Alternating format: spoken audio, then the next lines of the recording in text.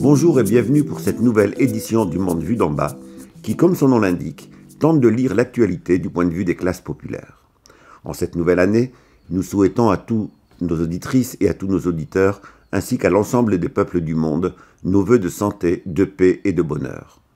Nous consacrons notre chronique de cette semaine à une question unique, celle du blocus azerbaïdjanais de la République d'Artsakh, plus connu médiatiquement sous le nom de Haut-Karabakh, et ses enjeux géostratégiques. Depuis le 12 décembre, le corridor de la Chine, la seule route reliant le Haut-Karabakh à l'Arménie, est bloqué, rendant impossible l'approvisionnement des 120 000 habitants de cette région. Officiellement, ce blocage serait le fait de militants écologistes azerbaïdjanais s'opposant à une exploitation minière accusée de menacer le site naturel régional. Dans les faits, nous sommes en présence d'une nouvelle remise en cause par l'Azerbaïdjan du traité de cessez-le-feu du 10 novembre 2020. Ce n'est en effet pas la première fois que ce cessez-le-feu est violé. En mai 2021, puis en septembre 2022, l'Azerbaïdjan a repris son offensive militaire et violé le cessez-le-feu. Depuis septembre 2022, l'armée azerbaïdjanaise a ainsi pris le contrôle de plusieurs secteurs frontaliers en violation du cessez-le-feu de 2020. Nous avions déjà des ingérences et guerres justifiées par la pseudo-défense des droits de l'homme, ou la défense d'une minorité opprimée, ou encore la lutte contre le terrorisme. Nous avons désormais l'argument écologique qui s'ajoute à la légitimation d'une agression. Comprendre ce conflit nécessite de le réinscrire dans l'ensemble de ses contextes historiques, économiques, géopolitiques. Sur le ton long, la création de l'URSS en 1922 vient mettre fin aux ambitions du pan-turquisme d'unifier en un seul État-nation toutes les populations ayant une langue turcique. Au sein de l'Union soviétique coexistent alors une République socialiste soviétique d'Arménie, une République socialiste soviétique d'Azerbaïdjan et un oblast ou région autonome du Haut-Karabakh, peuplé à 94% d'Arméniens, mais dépendant juridiquement de la République d'Azerbaïdjan. Dans le contexte de la perestroïka, le gouvernement de l'Azerbaïdjan décide unilatéralement la suppression de l'autonomie de la région, suscitant en retour la proclamation d'une république soviétique à part entière, puis une demande de rattachement à l'Arménie. Le référendum d'autodétermination du 10 décembre 1991 se solde par une majorité écrasante en faveur de la création d'une république de l'Artsakh, non arménien de la région. Celle-ci est proclamée le 6 janvier 1992 et suscite une offensive militaire azerbaïdjanaise. La guerre durera plus de deux ans, qui ne prendra fin que par le cessez-le-feu signé le 12 mai 1994. Dès cette première guerre et jusqu'à aujourd'hui, l'offensive militaire azerbaïdjanaise est accompagnée d'une offensive idéologique articulant des dimensions de chauvinisme et de suprématisme pan-turc et un racisme arménophobe. C'est ce racisme arménophobe qui n'est pas sans rappeler certains aspects du pan-turquisme du XIXe siècle ayant conduit au génocide de 1915 que tente d'instrumentaliser la droite et l'extrême droite européenne. On ne compte ainsi plus les articles et prises de position présentant la situation comme une guerre de religion opposant l'Arménie chrétienne à l'envahisseur musulman. Cette réduction du conflit à une guerre de religion permet de masquer les stratégies impérialistes dans la région. Avec la chute de l'URSS et le changement du rapport de force mondial, le projet pan-turquiste réapparaît, faisant de l'Arménie un obstacle à éliminer. L'Arménie prive en effet la Turquie d'une frontière terrestre avec l'Azerbaïdjan.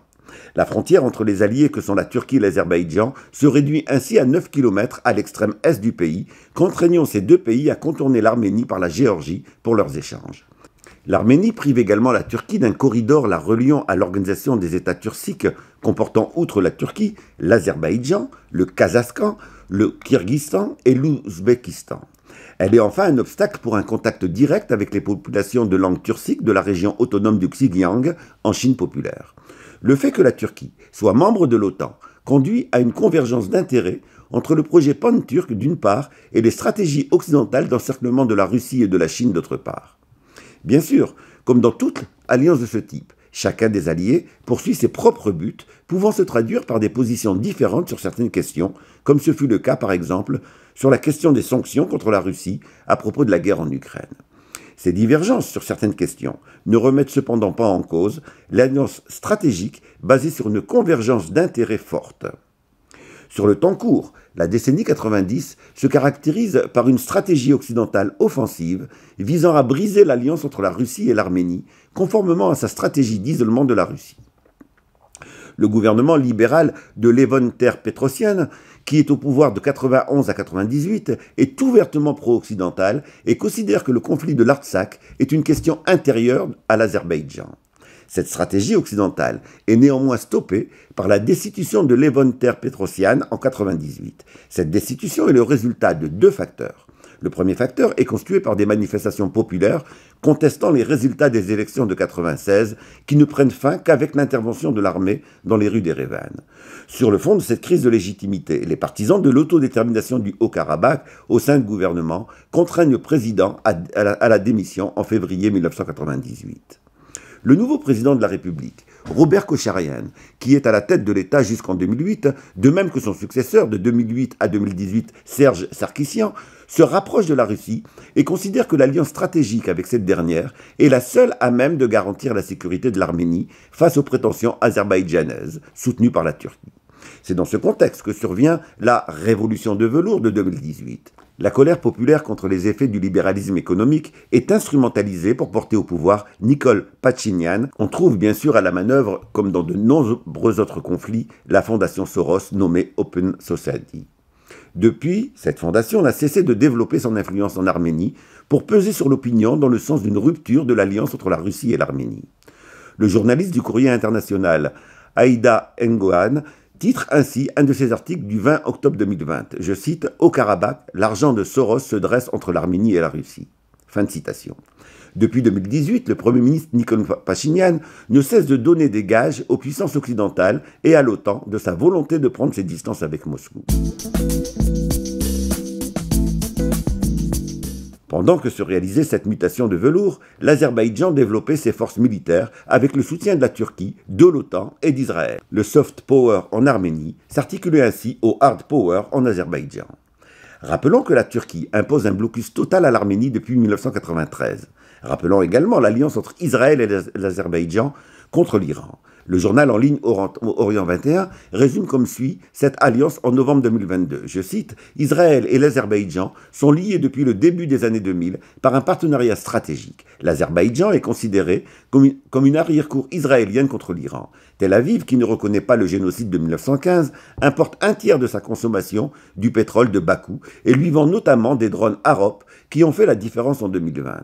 Israël est de fait le plus grand fournisseur d'armes de l'Azerbaïdjan. Selon l'Institut international de recherche sur la paix de Stockholm, environ 60% des importations de défense de l'Azerbaïdjan sur la période 2015-2019 provenaient de l'État hébreu, tandis qu'en 2020, ce volume est passé à près de 70%. Fin de citation.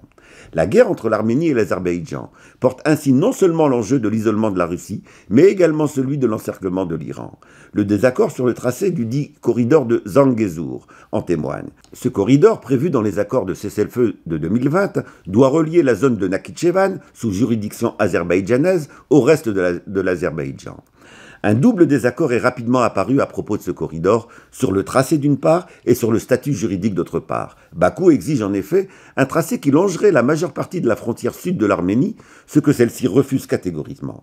Un tel tracé ferait perdre à l'Arménie le contrôle de cette frontière qu'elle partage avec l'Iran.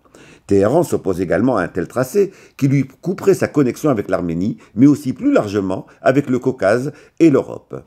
Plus grave, l'Iran serait, avec un tel tracé, quasi encerclé par les deux alliés que sont l'Azerbaïdjan et la Turquie, tous deux alliés d'Israël et tous deux parties intégrantes de la stratégie de l'OTAN, l'un comme membre et l'autre comme partenaire stratégique.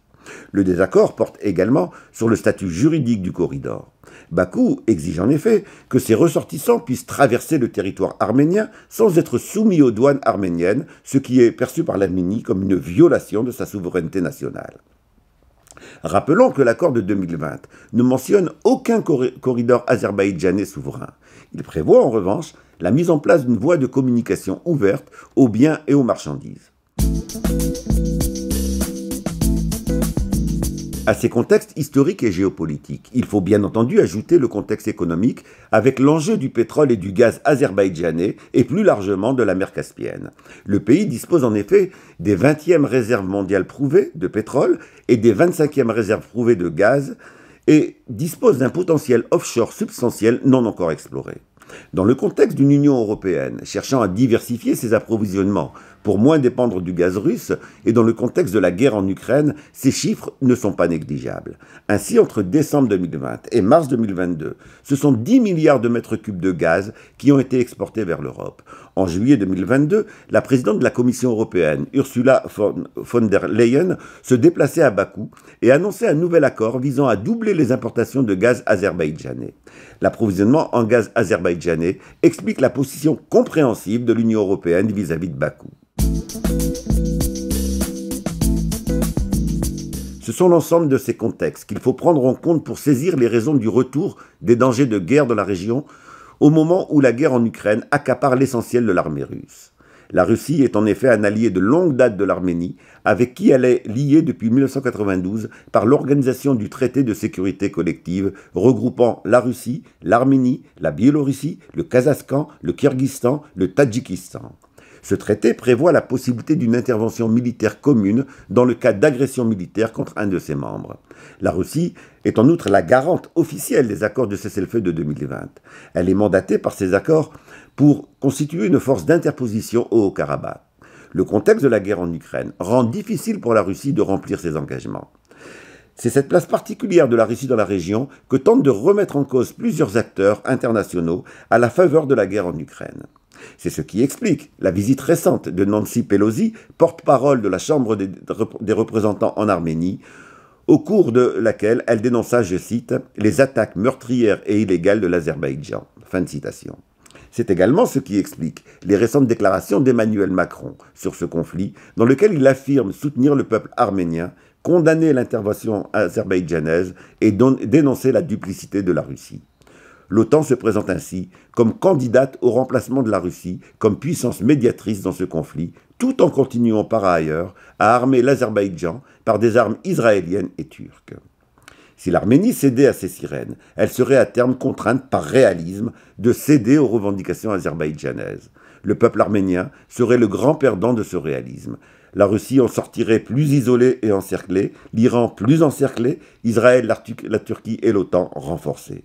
Loin d'être une guerre de religion comme le caractérisent de trop nombreux articles de grands médias, le retour de la guerre dans la région reflète les contradictions meurtrières de la lutte pour le partage du monde entre les grandes puissances.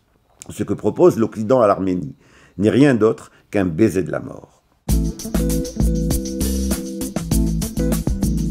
Le savoir est une arme, et il commence par le savoir s'informer. Nous espérons que notre émission a apporté sa contribution à cette information citoyenne nécessaire et urgente. N'hésitez pas à nous transmettre des sujets d'actualité que vous souhaitez voir traités dans notre émission. Ils seront traités dès qu'un fait d'actualité en lien avec eux permettra d'y revenir. Nous vous donnons rendez-vous la semaine prochaine pour une nouvelle séance du Monde vu d'en bas.